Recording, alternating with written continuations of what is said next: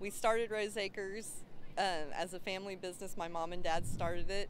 Uh, and all of us kids have always worked in the business. We've done about every job there is at the company, so that way we are always involved with the company. Well, I was born into it. Uh, Rose Acres was incorporated the year after I was born. Uh, I don't remember the first day I worked. We started um, working when we were itty bitty, we would be sent out to an egg house that was right, you know, the egg houses were right next to where we grew up. So if somebody missed work, we were out there gathering eggs when I was like yay high. I love that it's family owned and um, it grew up with me and I grew up with it.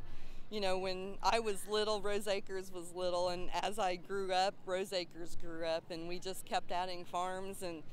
Um, we've always been about growing and, and making something for our kids in the future. Um, I want to have something that I can pass on to my kids and that my kids can pass on to their kids. It's not really about what the company can do for us, it's what we can do for the company and how we can grow it for our next generations and have something that our family can be proud of.